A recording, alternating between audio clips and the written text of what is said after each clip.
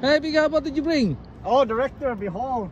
Uh, this is uh, was released last week, so the Call of Duty Black Ops 6 for PS5. Again? Yes, again, director.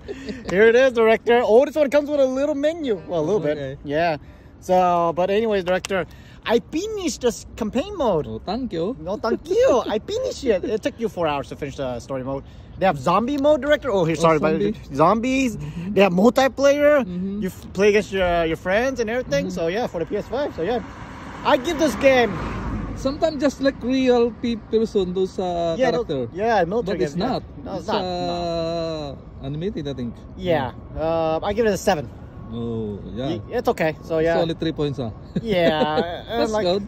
You like- still, it's still okay. that- just like it's still nine, 95, 94, something like Yeah, that. uh, the is the story is like you're in Kuwait. You're fighting also the organization Pantheon. Mm-hmm. You know, so blah blah blah. Trying to clear your name, but this is the, like a military uh, video game. Oh, okay. Anyways, good morning, everyone. Everyone, like, subscribe.